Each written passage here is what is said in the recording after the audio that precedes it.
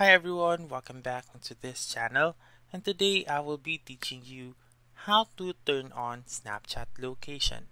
So let's begin right away. The very first step is to open your settings app.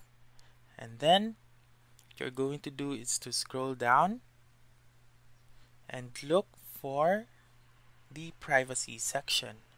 And then make sure to turn on your location services. And then under here you should find the Snapchat um, app. Click on Snapchat and then you should click on always or while using the app or ask next time or when I share. Don't click never because it will turn off your location.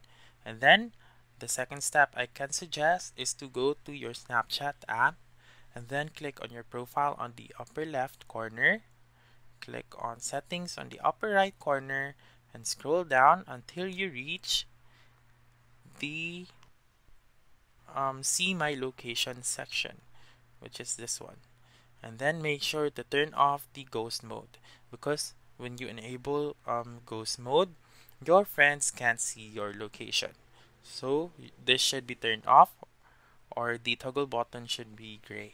And then you may um, set who can see my location and then allow friends to request location.